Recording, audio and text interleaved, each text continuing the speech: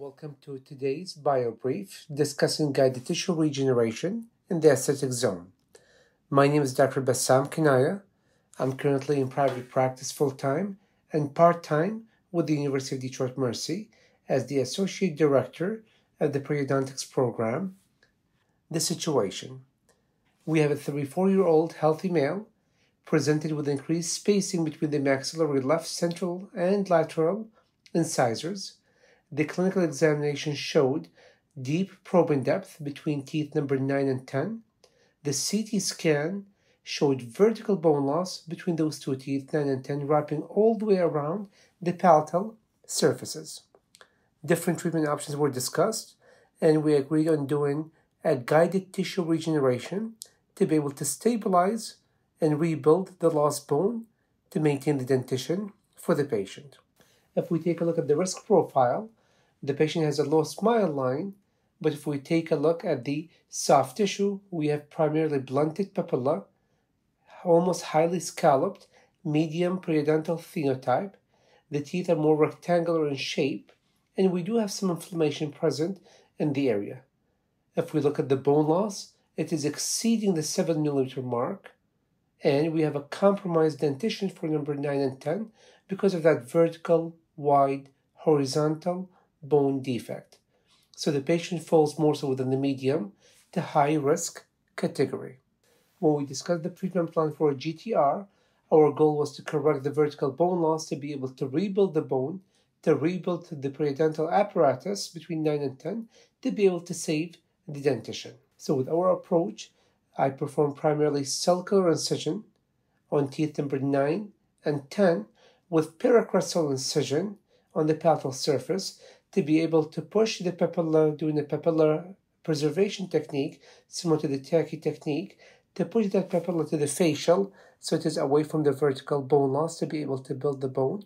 Looking at the bony defect itself, you can appreciate that the coronal one third of the bony defect, there's complete bone loss through and through defect.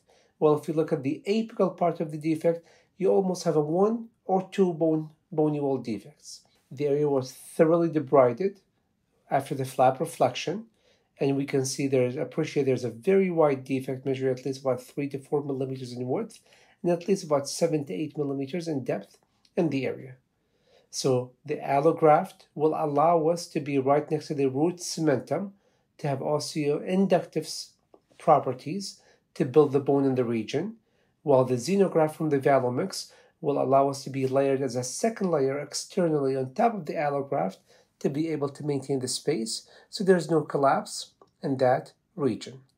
You can see the allograft is placed internally, right, right between number 9 and 10, but also wrapping on the palatal surfaces, while the xenograft is layered as a second layer externally to maintain the space. And that the advantage of using the Valomix material for such large and deep bony defect.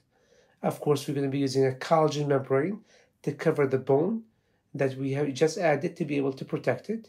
The internal part of the papilla, we still have some granulomatous tissue that we were able to do a partial thickness to fillet it to be able to cover the bone graft and get that primary closure. So looking at the outcomes, the healing at two, four weeks, and six months. And currently we also have a one-year follow-up we do have a clinically stable periodontium. The tissue is more pinkish in color with higher papillary fill between number 9 and 10. Looking at the probing depth, we have went down from 7 to 8 millimeters down to approximately 3 millimeter probing depth to indicate good health with no inflammation present.